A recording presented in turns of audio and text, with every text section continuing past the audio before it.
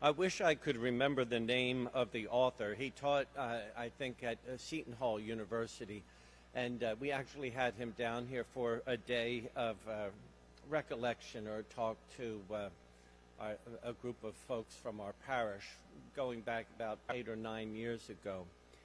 And his book was all about the people in the Gospels whose names we don't know.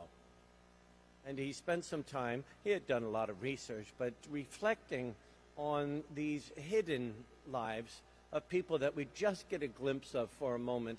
And I, I, I was thinking that um, the little boy in the gospel passage today was not in that book. So I offer it to you. If you want to have a little point of meditation, think of what this little guy did. We don't know his name. We don't know where he was from. All we know is that Andrew said, Oh, by the way, we have a kid here who's got some barley loaves and some fish. We don't know whether the, the little boy came and said, Here, sir, or whether he was hiding them and getting ready to have his own. But anyway, it was found out, and there was food. And then Jesus took that little bit and did the miracle that we're so familiar with. But listen to what Andrew said. There's a boy here who has five barley loaves and a, a few, the two fish. But what good are these for so many? You hear that? Here's a possibility. Here's maybe the possibility of a solution. Oh, but no. What good is there? Have you ever come up with a really great idea and someone said, yeah, n- no. That's a weird expression we do, though, isn't it? Yeah, no. Well, we do it depending on what's inside here. Many times, maybe it's our life experience, maybe it's our attitude.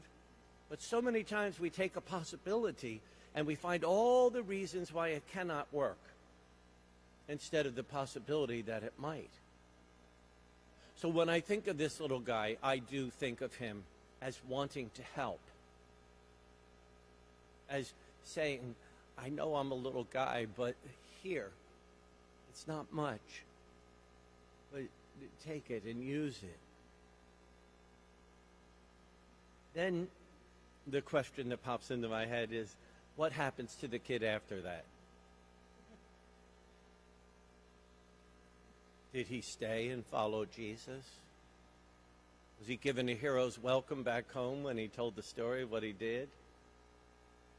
Were other people jealous of him being involved in a miracle? Again, it's a good place to go in our heads. But I want to talk a little bit, just real quick. But what good are these for so many? This, this poverty of resources. And we see what Jesus is able to do with even just the littlest bit. Today we celebrate the feast of um, St. Catherine of Siena, a great doctor of the church, a reformer. And I, I just want to share with you, um, she understood this, this poverty of the human heart sometimes when we don't see things well. And she wrestled with her, herself. Um, there's a, a, a, writing called The Dialogue, and in which she has conversation with Christ. And in the record of that, he says to her, Do you know what you are to me and what I am to you, my daughter?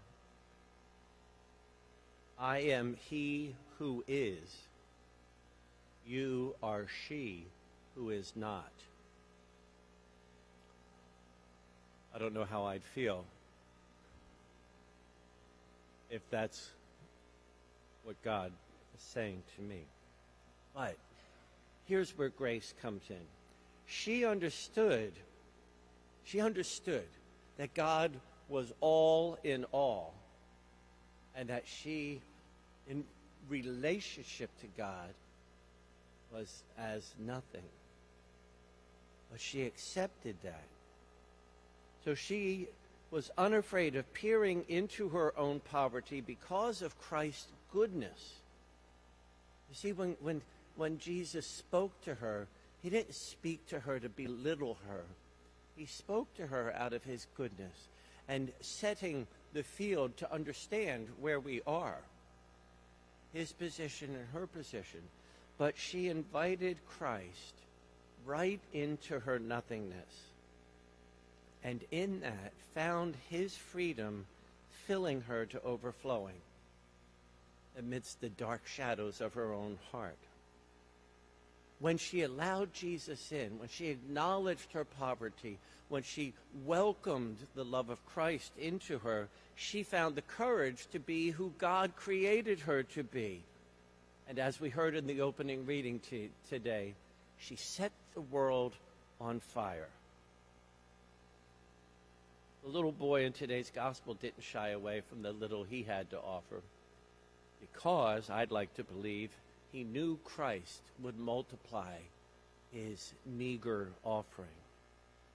So, my friends, for you and me, don't ever let ourselves think that we're not enough, or that we can't do, or that our opinion doesn't matter, or that what we have to offer isn't enough. But let us welcome Christ into our hearts, that he might take what we have and multiply it to abundance. Amen.